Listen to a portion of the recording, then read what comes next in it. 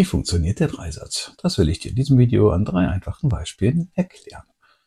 Voraussetzung dafür, dass ich den Dreisatz anwenden kann, ist allerdings, dass die Zuordnung proportional ist. Und was bedeutet das? Und das bedeutet, wenn sich die eine Größe verdoppelt, verdoppelt sich auch die andere Größe. Verzehnfacht sich die eine, verzehnfacht sich die andere.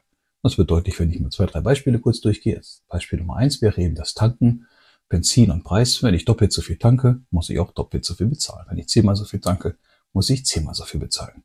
Oder Volumen und Gewicht. Wenn ich etwa zwei Liter Wasser habe, dann wiegen die doppelt so viel wie ein Liter Wasser. Und zehn Liter Wasser wiegen zehnmal so viel wie ein Liter Wasser. Aber nicht proportional wird bei der Zusammenhang bei einer Taxifahrt der Zusammenhang zwischen der Distanz, die zurückgelegt worden ist, und dem zugehörigen Preis.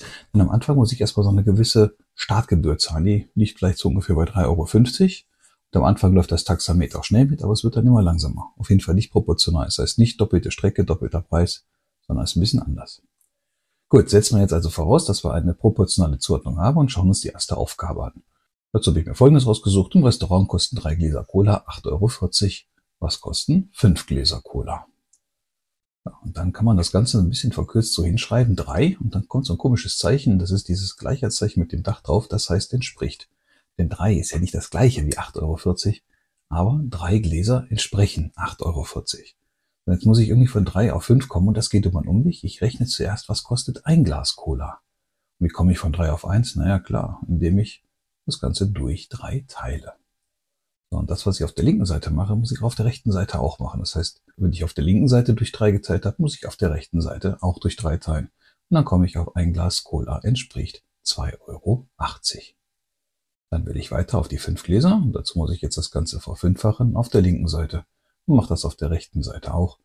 Und dann kriege ich heraus, fünf Gläser Cola entsprechen 14 Euro. Und die Aufgabe ist gelöst. Ja, warum nennt man das Ganze Dreisatz? Früher hat man tatsächlich drei Sätze sogar eingeschrieben für diese drei Gleichungen. Drei Gläser Cola kosten 8,40 Euro, ein Glas Cola kostet 2,80 Euro, fünf Gläser Cola kosten 14 Euro. Drei Sätze, Dreisatz, ganz einfach. Schauen wir uns ein zweites, etwas komplizierteres Beispiel an. 250 Gramm Hackfleisch kosten 5,50 Euro. Was kosten 400 Gramm? Ich schreibe zuerst wieder die Gleichung hin, also 250 Gramm entsprechen 5,50 Euro. Wenn ich jetzt ganz nach dem Schema oben vorgehen würde, würde ich jetzt erst auf 1 Gramm runterrechnen. Dazu müsste ich durch 250 teilen und das ist bei 5,50 Euro wirklich nicht gut. Da kommen blöde Zahlen raus. Ich muss aber gar nicht bis 1 runtergehen. Es reicht zum Beispiel, bis ich auf 50 Gramm runtergehe, denn von da aus kann ich prima auf 400 Gramm wieder hochrechnen. Das heißt, ich gehe von 250 Gramm auf 50 Gramm. Das klappt, indem ich durch 5 teile. Was ich links mache, muss ich auch rechts machen teile die 5,50 Euro durch 5 und komme auf 50 Gramm entsprechend 1,10 Euro. Und mit mal 8 komme ich dann von den 50 Gramm zu den 400 Gramm. Und wieder, was ich links mache, muss ich auch rechts machen, also dort auch mal 8. Und ich habe die Aufgabe gelöst. 400 Gramm entsprechen 8,80 Euro. Drittes und letztes Beispiel. 100 Erdnüsse wiegen 120 Gramm. Wie viele Nüsse sind in einer 300 Gramm Tüte enthalten? Äh, kurz dazu eine Randbemerkung, das sind ausgedachte Zahlen, ich habe keine Ahnung, ob das stimmt. Äh, kam mir ungefähr richtig vor. Müsstet ihr mal nachmessen. Also wieder der gleiche Ansatz. 100 entsprechen 120 Gramm. Aber hier ist jetzt etwas anders. Ich möchte nicht auf eine bestimmte Anzahl Nüsse, sondern ich möchte auf eine bestimmte Grammmenge. Das heißt, ich möchte eigentlich von 120 Gramm auf 300 Gramm kommen. Das heißt, ich muss jetzt an der rechten Seite überlegen, wie komme ich von da nach da.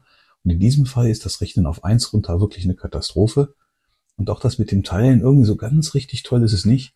Aber ich kann auch zuerst multiplizieren und dann teilen. Das heißt, ich kann zum Beispiel erst rechnen mal 10, dann bin ich bei 1200 Gramm und danach rechnen geteilt durch 4 und dann komme ich auf die 300 Gramm. Und jetzt geht andersrum, was rechts gemacht wird, wird auch links gemacht. Also 100 auch mal 10 und dann geteilt durch 4.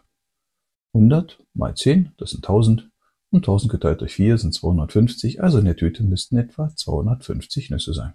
Ja, und so funktioniert's. Ihr seht, ist nicht weiter schwer, kein Hexenwerk. Ich wünsche euch viel Erfolg bei euren Übungen.